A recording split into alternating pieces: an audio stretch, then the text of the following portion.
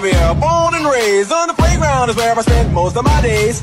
Chilling out, maxing, relaxing, all cool and all shooting some b-ball outside of the school. When a couple of guys who were up to no good started making trouble in my neighborhood. I got in one little fight and my mom got scared and said, "You're moving with your auntie and uncle in Bel Air." Now this is a story all about how my life got flipped, turned upside down, and I'd like to take a minute, just sit right there. I'll tell you how I became the prince of a town called Bel Air.